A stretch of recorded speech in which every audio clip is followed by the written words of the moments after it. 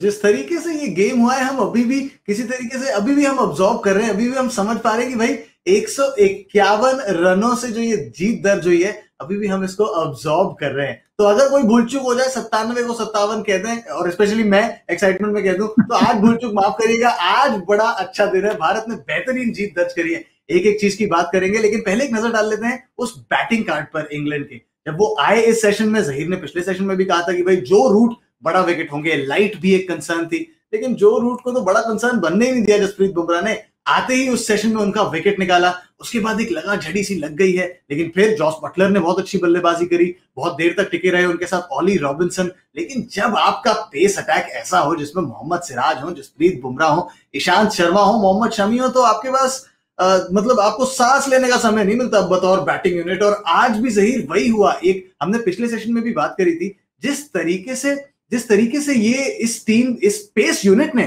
काम करा है एक दूसरे को कॉम्प्लीमेंट करा है लूज डिलीवरीज कहीं भी नहीं कोई भी जो आपने पिछले सेशन में कहा था दबाव नहीं छूटने दिया कहीं भी। जी बिल्कुल तने क्योंकि ये तो आपने दिखा दिया इंग्लैंड का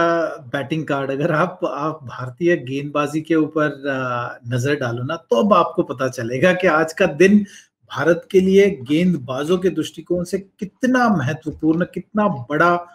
दिन था। और मैं समझता हूँ इस इस इस इस, इस जीत का श्रेय सारे गेंदबाजों को आज के जिस तरीके से इन्होंने जिस इंटेंसिटी के साथ गेंदबाजी की है और हर एक का कंट्रीब्यूशन अगर आप देखोगे ना तो आप ये नहीं कह सकते कि सिर्फ़ एक ही गेंदबाज ले गए। सिराज ने चार विकेटें लिए बुमराह ने क्रूशल स्टेजेस पे आ, आपने कहा कि रूट की रूट की विकेट कितनी अहमियत रखती है ये सभी को पता है।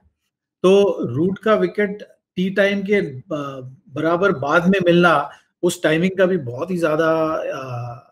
महत्व था मैं समझता हूँ। तो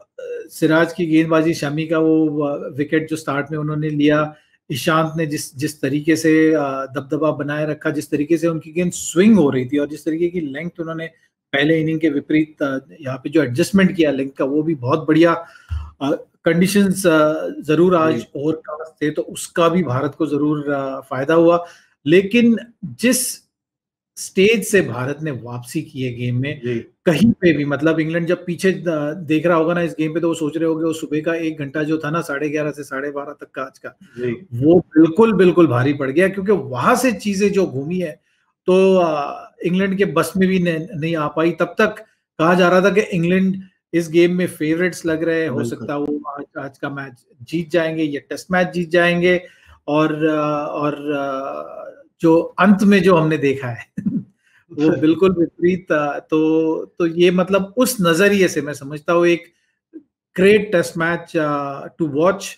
और अगर हमें इतना मज़ा आया देखने में तो जो जिन लोगों ने मेहनत की है वहाँ पर मैदान में जो जो ग्यारह खिलाड़ी जो